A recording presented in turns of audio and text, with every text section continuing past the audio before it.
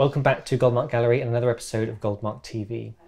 We've got a short but sweet episode for you today. First off, new to the gallery this week, our brand new autumn magazine. Now, there are a number of things in here that um, we've shown before on Goldmark TV, but we can uh, show in more detail here, and some things that we've not seen. Um, there's a lovely piece on Julian Trevelyan's printmaking, a little bit about the, uh, the history of, of how he, he, uh, he trained as a printmaker, some of the influences that went into his work.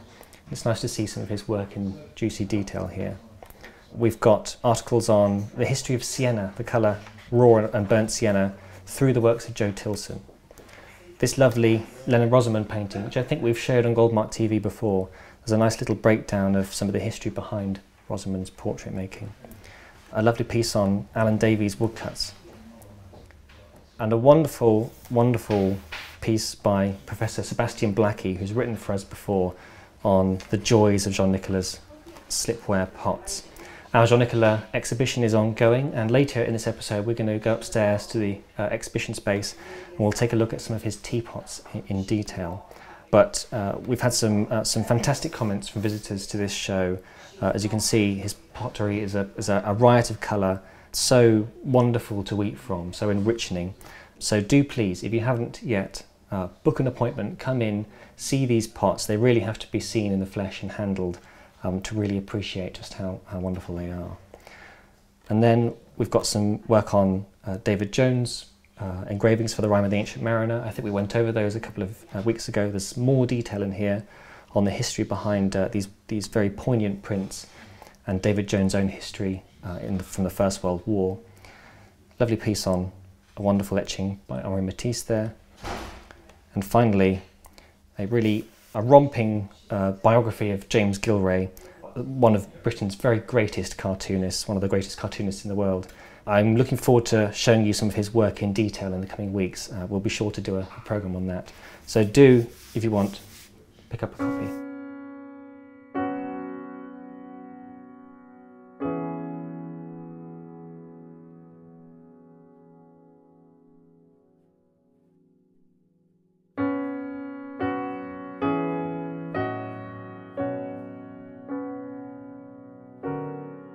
Now, before we go upstairs to have a look at the uh, Jean Nicolas pots, I thought we'd take a look this afternoon at uh, something quite special, these wonderful Dürer woodcuts.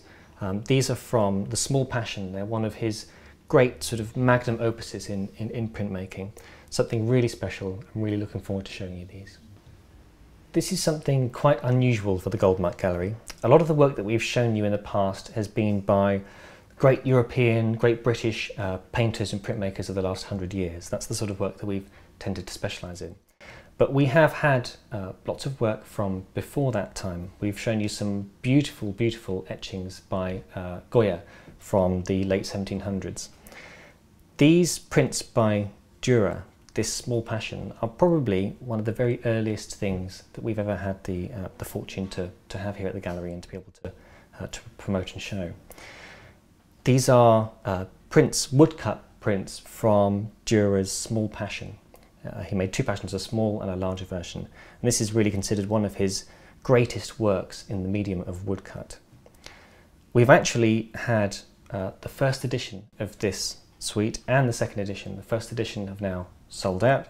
Um, these are the second edition prints printed from the very same blocks. And as you can see, I only have five here around me. They've been very popular and they've been uh, running out of the gallery for the last, uh, last couple of months. We just realised that we have these very few left and I thought it'd be a shame to, to miss out on, on um, bringing them to you today. So that's why we're having a look at them. Dürer was one of the very greatest and the very most popular, uh, very, very best known artists of his generation. He was born in Nuremberg and he would become uh, one of the, the, the greatest known uh, printmakers of his, of his age, of, uh, of sort of late Renaissance uh, German uh, uh, artists. He came from a, a, very artistic family. His, his, um, his father encouraged him as a, as a draftsman. He had hoped that Dürer, the young Dürer would become a goldsmith. And you can see some of the, the fine detail work, the very careful sort of deft quality to these prints would have suited him perfectly to that sort of very delicate work in, in, in goldsmithing. But in fact, Dürer proved a very natural draftsman, a, a hugely natural uh, talent. And he started working as a very young man uh, with his godfather, who was a printer and a, and a, and a publisher. It was probably in that workshop environment, uh, working on woodcuts himself, cutting the designs of his master, learning the skills of using these tools and, and working to, um, to the demands of, of, of patrons, that Dürer really honed his feeling for working in print. In fact, in later years, though he would become a very popular a painter, an extremely beautiful uh, worker in, on, on, in paint, for a number of years he didn't paint because he was making so much money from his prints. His prints were really the main way that he got his name known, uh, to the point where he was talking with all the greatest artists of his time, conversing with people like Raphael in his letters. The Small Passion Dürer worked on from 1508 to around 1511 um, so right at the sort of very peak of his powers, he had gone to Italy twice uh, as, as a young man, uh, done two sort of almost like gap years, Wanderjahre as they were known in, in, uh, in German. It was quite typical for an artist to, to travel and learn the, the crafts, the trades, the sort of tricks of, of other artists uh, around the area. He'd been to Italy twice and brought back with him the sort of flavours of, of Venetian painting, of Italian painting, and he brought that and his sort of Gothic German roots together. And that's really what made him such a, a wonderful painter, a wonderful printmaker. The Small Passion was uh, one of his very greatest works, 36 images detailing uh, the life of, of Christ. Quite typical established imagery Dürer's passion uh, went right to the uh, to the very start of the story, to the the fall of uh, of Adam and Eve, the fall of man uh, in the Garden of Eden, and then some very early scenes from Jesus' life. We have the Annunciation, um, and then the Nativity, and also just prior to the story of the Passion, uh, sending out the the money charges from the temple. The series of images that he made for the Passion, he probably wouldn't have actually cut himself. By now, he was a very established uh, a master painter. He had a, a, large workshop of people working for him, working on his paintings, working on prints. They would probably have been responsible for cutting his designs, uh, which he had drawn in pencil. And actually, if you see some of the original designs that he made and compare them to these prints, they are nearly exactly the same. These are almost facsimile works that have been cut into wood here. Having said that, he was an incredibly adept woodcutter, uh, an incredibly adept printmaker. He had learnt uh, from a very young age, honed his skills, and in fact, the artists that worked in his workshop, uh, one of them wrote about the, the pitiless tyranny that they served uh, uh, under Dürer's watchful eye. He was extremely meticulous, extremely demanding about the quality of the line, the quality of the printing of the blocks. These were produced over three or four years, 1508 to 1511, until they were eventually published and uh, they were one of the, the works that really sort of firmly established him as the great printmaker of his age. Uh, from 1513, for three or four years, he made no paintings, focused purely on print. Because printmaking was relatively cheap compared to painting, it was quite economical, quite efficient. You could print a number uh, of images and have them bound, and books of your prints, your images would be uh, distributed uh, far and wide. It was a fantastic way, as a Renaissance artist, to really establish your name, to get your popularity, to have your name on the, on the lips of other artists around Europe. And that's precisely what Dürer did. These are just five of the images left from this second edition. This was printed 100 years later from the very same blocks.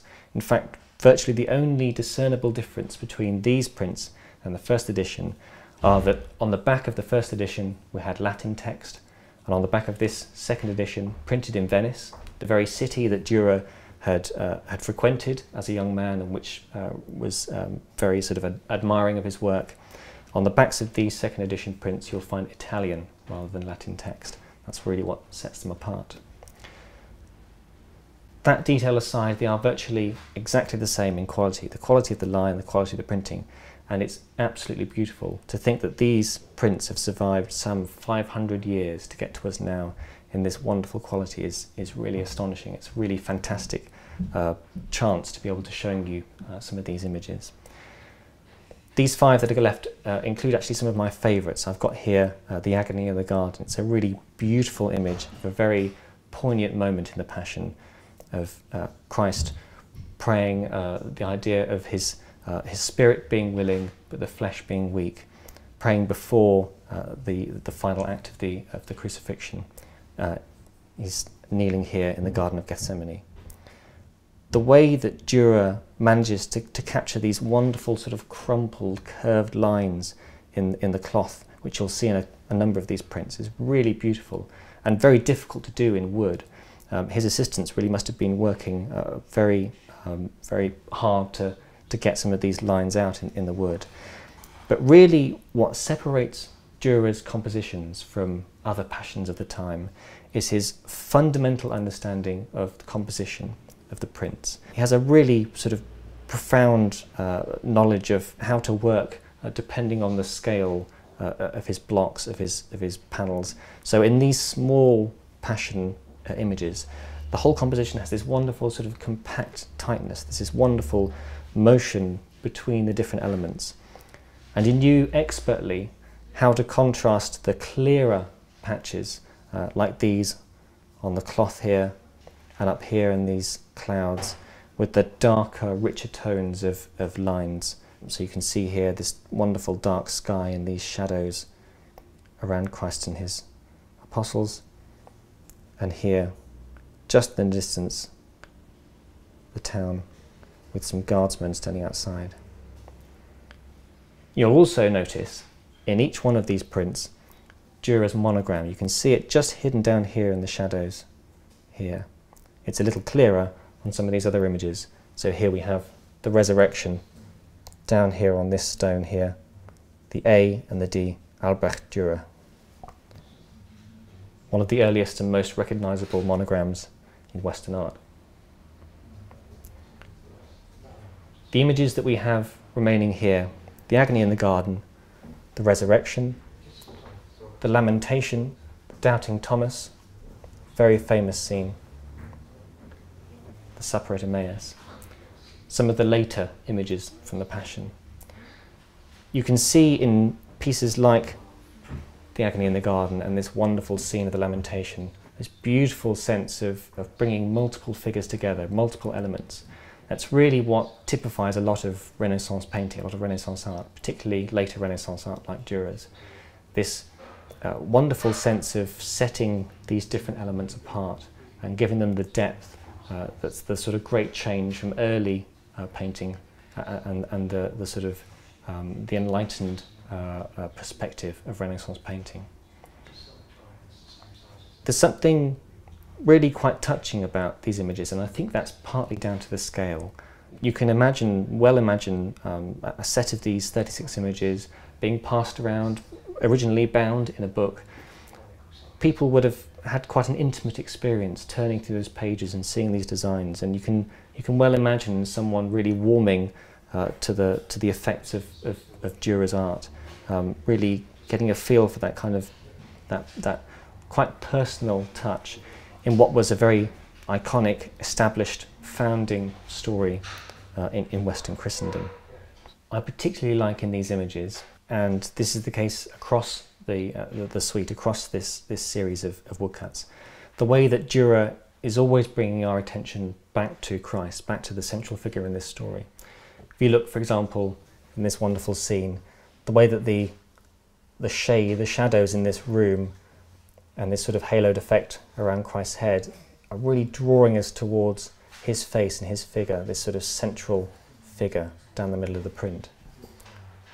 Or over here in the Lamentation, it's got this wonderful kind of circular movement of these people congregating around Christ's body, this wonderful kind of motion in what is actually quite a sort of still, static, uh, and poignant moment in the Passion. These are, as I said, the last five that we have uh, available, and as these are second edition prints, these are much more affordable than, than the first edition, which we've already had. This is really a, a, a fantastic opportunity, um, if you've liked seeing some of these prints, to own something by one of the great masters in, in Western art. A, really wonderful chance we've had to, to handle these and to, to get to know them a bit.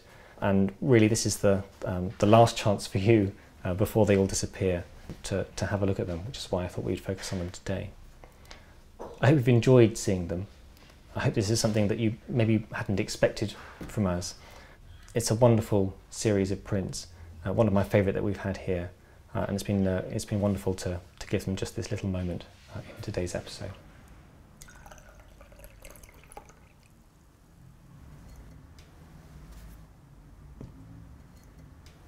So here we are back upstairs again in the midst of our Jean-Nicolas Gérard show in this exhibition space upstairs. It seems a long time since we've had another film where we've got a load of pots out like this on a, on a, a table to show you. We were really spoilt for choice on different forms to focus on today from this show. There's some beautiful work in a number of different shapes and sizes here. Jean-Nicolas bottles have proved very popular. Uh, we've got some wonderful soup tureens with those fantastic bobble hat lids some lovely whimsical dishes and those fantastic square dishes which you would have seen uh, last week when Mike was doing uh, his walkthrough of the exhibition. But as we've been walking around and taking a look and, and seeing what's catching our eye, we all agreed that it would be nice to spend some time with these wonderful teapots that Jean-Nicolas has provided us with. These have all come straight from the south of France, from Valensole in Provence, where Jean-Nicolas lives. But they've also spent a bit of time with a, a lovely lady who lives in a village nearby us, uh, who's a basket weaver, and I think grows her own willow. And she's been uh, very busy putting these new handles on these, uh, all these new teapots that we've got here. So we've been, uh, we've been keeping her, her hands at work recently. I wanted to show these teapots because they're quite different from a lot of potter's teapots. And the teapot really, um, particularly for beginner potters, is the sort of climax point of, of learning how to put a pot together. It's almost the ultimate challenge for a domestic ware potter. A teapot presents so many challenges in the, in the many parts that it has, in the, the forming of a lid, a spout, a body and a handle, but also the fact that you are contending with the, the physics, the mechanics of water. A teapot has to work. You have to get your measurements, you have to get your, uh, your component parts to fit together right for your teapot to work. There's a lot of finesse, a lot of, um, of understanding how pots work, how pots will work in the firing. And that's really brought to bear in these wonderful teapots around me here today. We've got a little setup here with a number of different teapots of different sizes, different shapes, showing off just how Jean-Nicolas' work really varies hugely from pot to pot. You'll see sort of round, uh, round shapes here, some squarer sides. I love these little lids. Jean-Nicolas really uh, uh, loves sort of these little whimsical uh, additions to pots. So you'll see some of these handles have got little sort of bobble hats, a little bit like those soup tureens that we saw uh, earlier in our, our walkthrough, um, but also these little sort of almost abstract shape, squared off and, and diagonal uh, little blocks of clay. I think a really lovely touch from Jean-Nicolas, and again, very tactile and very easy to use with these little finger and thumb dimples either side.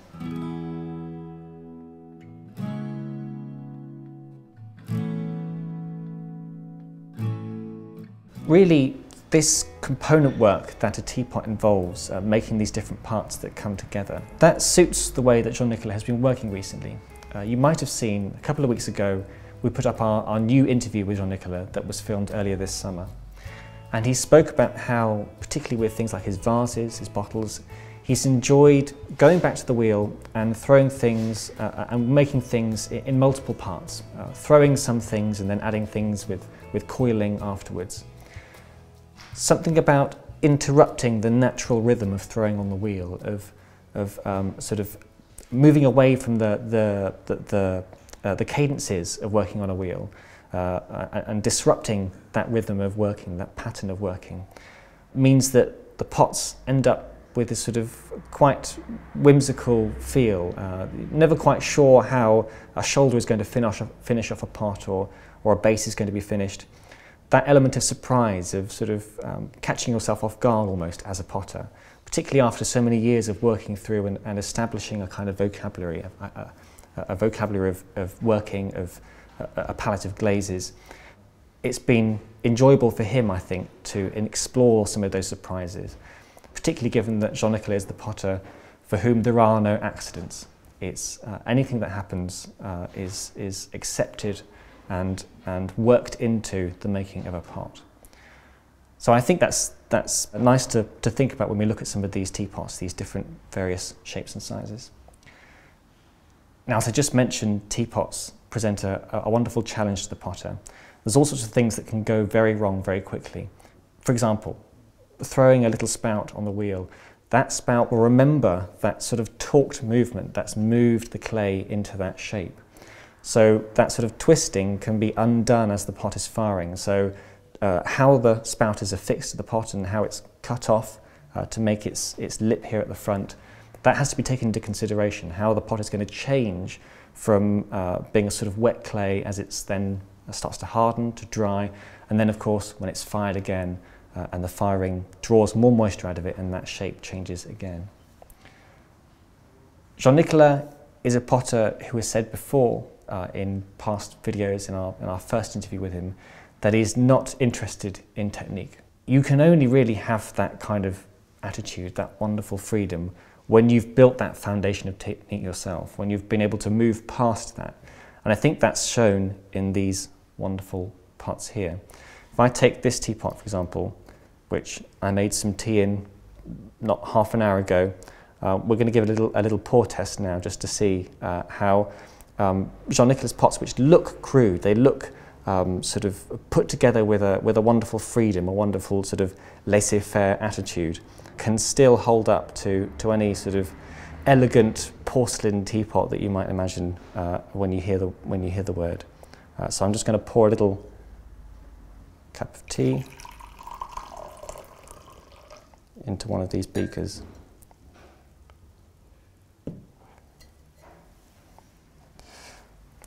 I think Jean-Nicolas teapots work really well together with his, uh, his beakers. Um, with these lovely platters that we've got out here, I can well imagine a, a slice of cake off one of these or, or a little tea gathering with, these, um, with lots of these beakers around.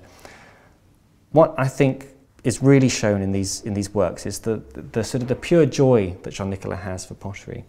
You'll see all of the hallmarks of his work. You'll see these wonderful sgraffito lines scratched around the different parts, across the lid, across the body. You'll see a number of the different colours of slips that we've got here. So there's this wonderful rich yellow, but there's also this beautiful cobalt blue, which really sort of shines when it's laid over this yellow underneath. Uh, we've got that rich, warm black, uh, and some of this raw clay as well around the, around the, uh, the neck of the, the pot, always reminding us that the clay that Jean-Nicolas is working with, this earthenware clay, is the same earth that feeds the countryside where he lives, same earth that gives us our food, just as these pots can sort of feed the soul, uh, especially tea, I think, uh, from one of these wonderful teapots. A very warming uh, and enriching experience. One of the important things about teapots is weight and size. A teapot's got to be big enough to hold enough tea to make it worthwhile having, worthwhile uh, to serve tea amongst friends or family. But it's also not going to be heavy enough that when you fill it with that tea, it's going to break your wrist trying to pick it up. Um, you can see even in this quite small teapot amongst these other ones of Jean-Nicolas, plenty of space in here for tea, um, more than enough room for tea for four or five. Um, I've got a beaker full here. Not heavy at all. Jean-Nicolas really understands uh, the fundamentals of pottery and that's why he's able to, to work in this wonderful loose way. I think often people forget that he has that prowess behind him, he has that technical proficiency.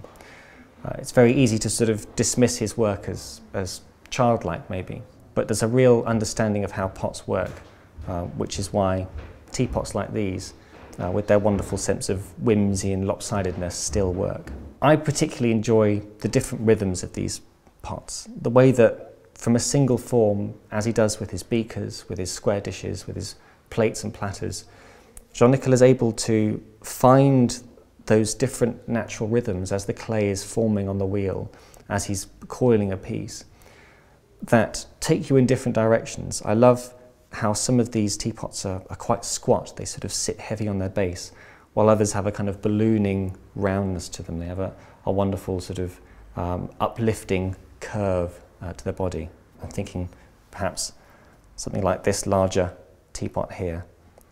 And how that wonderful round shape is finished off by its little bobble hat lid. I like also the little cut off pieces from these lips here, which is very traditional. There's something so sort of um, warming and rustic about these, these teapots.